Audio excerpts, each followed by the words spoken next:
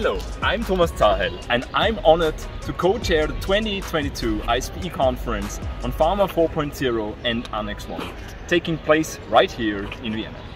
Everybody knows that every pharmaceutical drug needs to be administered to a patient sometime. However, up to now, clinical and manufacturing processes are still developed separately from each other. This leads to manufacturing processes that do not target patient needs.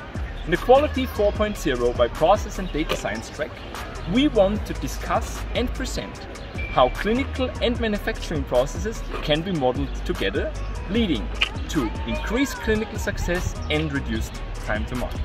We want to move from quality by design to clinical success by design. If you're interested, I would love to see you in Vienna.